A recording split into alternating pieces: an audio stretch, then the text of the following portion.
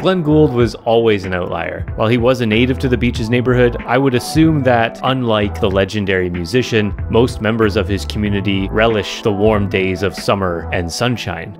In fact, for well over 100 years, the beaches have been attracting Torontonians to its beaches on warm, sunny days. At the turn of the century, the beaches was a destination, with cottages and amusement parks near the water but people loved the area so much that many decided to stay, and the vacation destination grew into a thriving community. Today, the beaches is one of the most sought after neighborhoods in the city, and it's easy to see why. It's beautiful. Queen Street is lined with shops, cafes, and restaurant patios, and there's an obvious pride that beachers have about their community and their homes. The beaches also ranks really well in many other categories, from premium real estate to good schools, safety, and strong community engagement. One area where it ranks low is in diversity, but that's relative to Toronto. But back to why the beaches is one of the most sought after communities. Obviously, the beaches themselves are a big draw, not only for the residents, but for people living in different parts of the city. This stretch of beach is one of the closest for city dwellers, and it can be reached with public transit fairly easily. And the same streetcar line that services the beaches today is the same one that has shuttled Torontonians to the beaches and back for over 100 years. The Queen Street streetcars have a long history and are part of the reason that the beaches grew into what it is today. Not only is it a quiet reprieve from the downtown core, but it's relatively easy to access, and it always has been. I took the 503 Queen Streetcar while making this video, and it took me about 40 minutes to get back to the financial district. All things considered,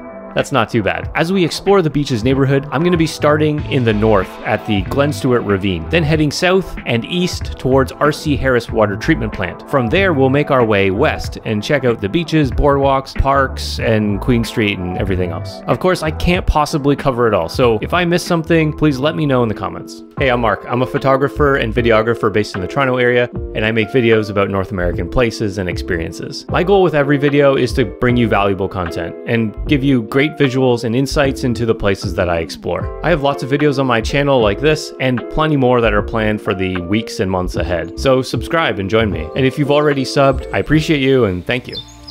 The Glen Stewart Ravine runs north-south from Kingston Road and down towards Queen Street. As you step off the main artery of Kingston and down the steps to the elevated boardwalk, the street noise quickly dissipates. This is a great way to kick off a tour of the beaches as it sets the tone for the laid back vibe of the neighborhood. At the midway point, there's a set of stairs that lead up to Balsam Avenue, but if you continue along the path, you'll reach Glen Manor Drive. As you resurface at street level, you're introduced to one of the beautiful beach's residential streets lined with trees and a mix of modern architecture and turn of the century estates, wandering up and down the hilly streets should be on any sightseeing tour. Not only are these streets historic and beautiful, but many influential people grew up around here. Just around the corner from the Glen Stewart Ravine is the childhood home of Glenn Gould. Glenn was a musical phenom and was recognized at an early age as being an incredible piano player. He went on to have a long career as a recording artist and touring around the world. Other notable personalities have called the beaches home as well, including Academy Award winning director Norman Jewison, best known for films such as The Cincinnati Kid, In the Heat of the Night, and Moonstruck. Penny Oleksiak, who is Canada's most decorated Olympian, is also from the beaches. As we make our way east along Queen Street, we come across a beach's landmark, the Goof. The story goes that at some point a long time ago, some of the neon lights stopped working, and good food became locally known as the Goof. The name is as interesting as the menu, which is a combination of Chinese food and traditional diner fare.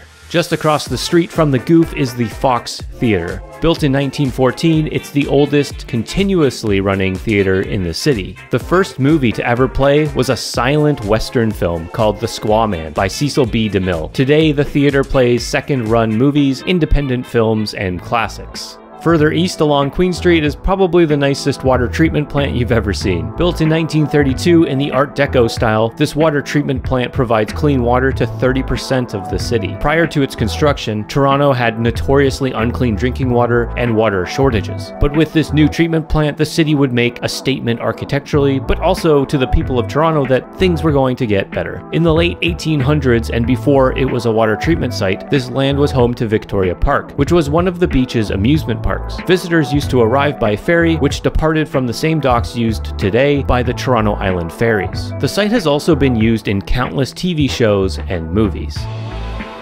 From here we're heading west, along the beaches and boardwalk. But wait, some people refer to the beaches as the beach, so don't be surprised if you hear both or see either one on signs. Apparently this is a hotly contested topic and uh, it dates back to the 19th century. We're starting here at Silver Birch Beach, which doubles as an off-leash dog park. A couple hundred meters further down the beach is where the boardwalk starts, and it runs along the waterfront for about two and a half to three kilometers, ending way out at the end of Woodbine Beach. The first place of note along the boardwalk is the Balmy Beach Club. This is a private club that's been around since 1905. Unfortunately, fire burned down the first two clubhouses, and the current one was built in the 1960s. The club originally offered lawn bowling and paddling, but would later offer lots of other sports.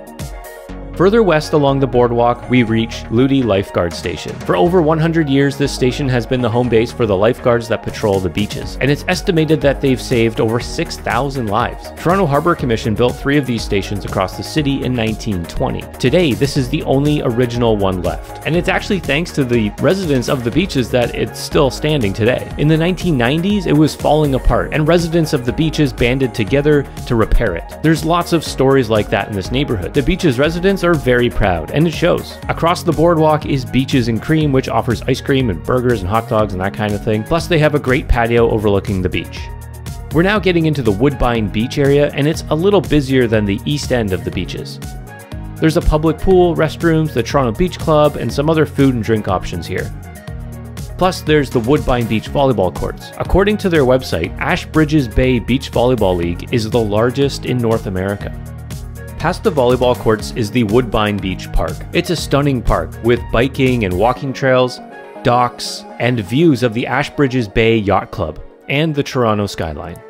As we head back towards Queen Street, we pass through Woodbine Park, which has trails, ponds, playgrounds, and it's also where the main stage is located for the annual Beaches International Jazz Festival. They even close down Queen Street to traffic, and lots of different acts take the stage up and down the street. At the north end of the park is a new music venue called History. This opened in 2021, and it's a collaboration between Drake and Live Nation. To round out this tour, we're headed back east along Queen Street. Once past Woodbine Avenue, we start to get into the heart of the beach's community. Here we pass heritage buildings, beautiful architecture, favorite spots for locals, and what you might consider the central park of the beaches, Kew Gardens. This stunning park is packed with basically everything you need or want from your neighborhood park. There's playgrounds and splash pads for kids, there's courts for pickleball or ball hockey, there's picnic areas, baseball diamonds, bandstands, lawn bowling. On the east side of the park is where you'll find the Kew Williams House. This home and the land it sits on was once private property. In 1907, the owners sold it to the city of Toronto. There's also the oldest tree in the park, which is believed to have sprouted somewhere around the year 1800, making it older than Canada itself. As I mentioned at the top of the video, if I missed something that you think people should know about, and I'm certain that I did miss a whole bunch of stuff, please leave a comment below. I'd love to hear from you and maybe I could include it in a future video one day. Thanks for watching. I hope you enjoyed this tour of the beaches. I'll see you next time.